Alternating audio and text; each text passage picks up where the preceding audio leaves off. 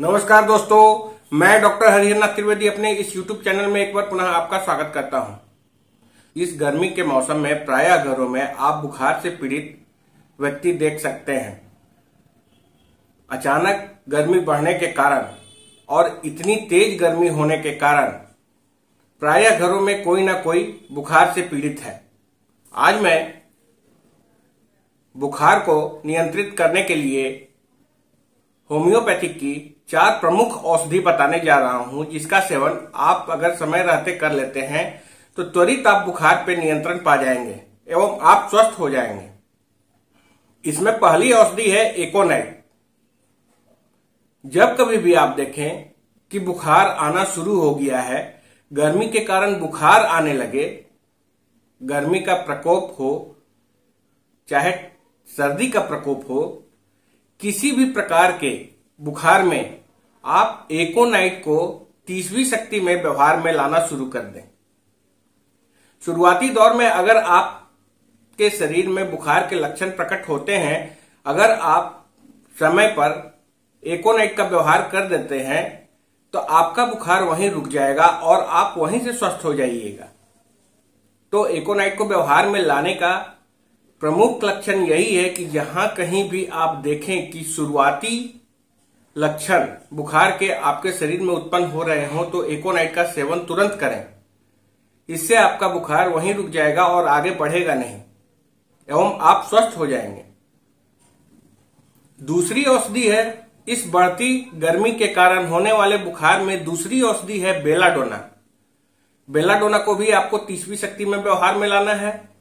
Belladonna का चरित्रगत लक्षण यह है कि जहाँ कहीं भी आप देखें कि बुखार आए, चेहरा तमतमा गया हो, चेहरे पे लाली आ गए हो, स्किन बहुत ज़्यादा गर्म हो, बुखार तेज़ी से बढ़ रहा हो, सिर में दर्द हो, रोगी बुखार के कारण भूल बकना शुरू कर दे इधर उधर की बातें करे, इन लक्षणों में आप बेलाडोना का व्यवहार करें।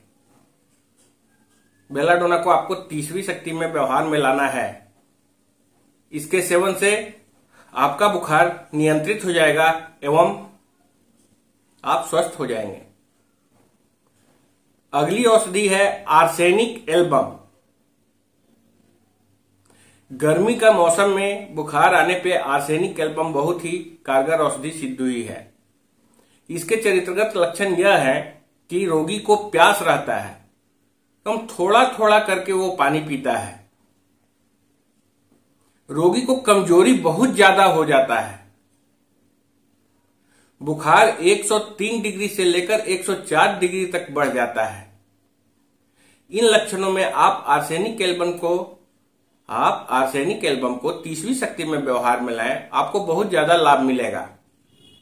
इसके प्रमुख लक्षण पर ध्यान दें कि रोगी इतना कमज़ोर हो जाता है कि वो बाथरूम जाने के लिए भी बिस्तर से उठ नहीं पाता है। इन लक्षणों में आप आर्सेनिक एल्बम का व्यवहार करें, आपको बहुत ज़्यादा लाभ मिलेगा। चौथी औषधि है जेलसीमियम।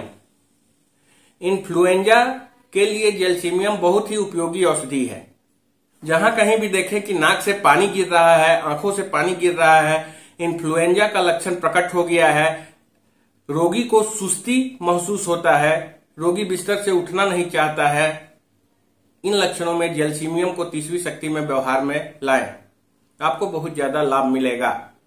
इन्फ्लुएंजा के लिए जेलसीमियम बहुत ही उपयोगी औषधि है। रोग के उग्र काल में औषधि को आधे आधे घंटे के अंतराल में सेवन करें। रोग नियंत्रण होने के बाद दिन भर में तीन बार सेवन करें, आपको बहुत ज़्यादा लाभ मिलेगा। आज का आपको हमारा ये वीडियो कैसा लगा कमेंट बॉक्स में लिखकर अवश्य बताइएगा। चलते चलते आपसे अनुरोध है कि आपने अभी तक हमारे इस चैनल को सब्सक्राइब नहीं किया है तो सब्सक्राइब अवश्य कर दे, साथ ही साथ बेल आइकन को प्रेस कर दे, ताकि आने वाली नई वीडियो का नोटिफिकेशन आपको मिल सके। मिलते हैं अगले वीडियो में। धन्यवाद।